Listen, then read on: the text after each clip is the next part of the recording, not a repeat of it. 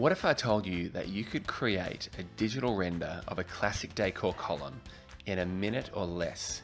Now imagine every single time you send a quote to a customer of yours for some classic decor, which is all the time.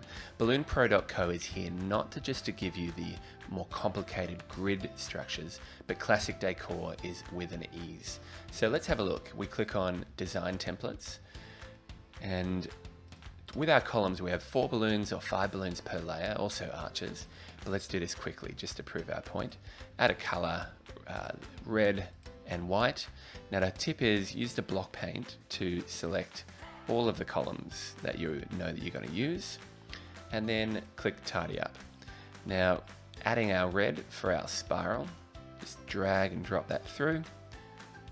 So here we have a car dealership, so they've asked for red, and white, of course, for their corporate colors. Now we need to color in the back balloons because in this this version now we have a full stock order for front and back. And so we see 18 and 18. Let's include a top balloon, inflate it to the size that we're happy with, and give it some color. Done. So now we can print it as um, a, working doc for our team with our stock order. Or in this case, I'm going to remove the guides and save it as a JPEG. And that, when we pull up our emailed quote, insert pictures, click, resize to fit, boom. There's our digital render with our price, all a part of our quote, and we click send.